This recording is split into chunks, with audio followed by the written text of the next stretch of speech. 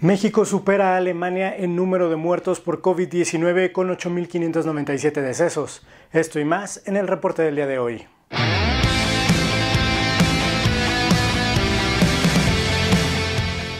México superó este miércoles a Alemania en el número de muertes por COVID-19, por lo que se ubica ahora en la octava posición de la lista de países con más fallecidos por coronavirus.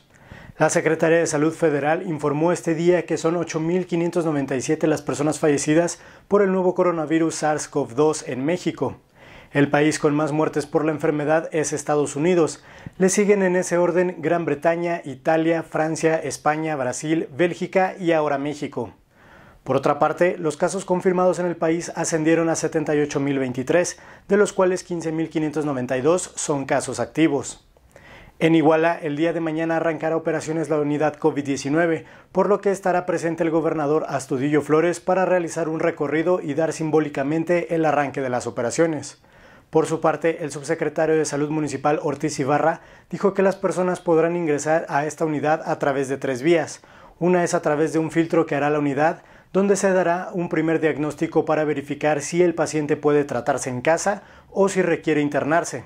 La segunda es recordando que la unidad COVID será para descargar a los hospitales COVID de la región, por lo que los hospitales pedirán el apoyo a la unidad para trasladar a pacientes con coronavirus cuando se vean superados en su capacidad hospitalaria. La última será a través del 911, donde se recibirán los reportes, por lo que de cumplir con los signos de coronavirus, una ambulancia transportará al paciente desde su casa hasta la unidad COVID-19. A nivel estatal, Guerrero alcanzó los 1.421 casos positivos de coronavirus y 217 decesos, según la plataforma de la Secretaría de Salud Federal. Iguala llegó a 109 casos confirmados y 45 fallecimientos, mientras que Acapulco elevó la cifra de 856 casos y 77 muertos. Recuerda que puedes consultar el panorama estatal a detalle en nuestra página de Facebook.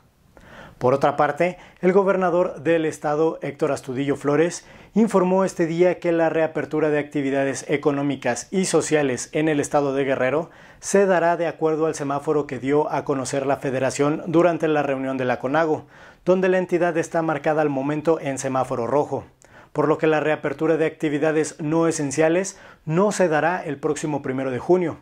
Además, reiteró que en Guerrero se reactivarán únicamente actividades económicas esenciales como lo son la minería y la industria de la construcción, para la cual cada una de las empresas requerirá la aprobación de las autoridades federales correspondientes. Además, dio a conocer el gobernador que gracias al apoyo de la federación se incrementó el número de camas disponibles para atender a pacientes con COVID-19 en los hospitales con mayor demanda como el de Acapulco y se hará lo mismo en Chilpancingo e Iguala. En este mismo sentido, el funcionario refirió que se logró ampliar de 48 a 77 las camas en el Hospital General de Acapulco, en el quemado en donde además se instalaron 20 ventiladores, bajando su ocupación a un 55.8%.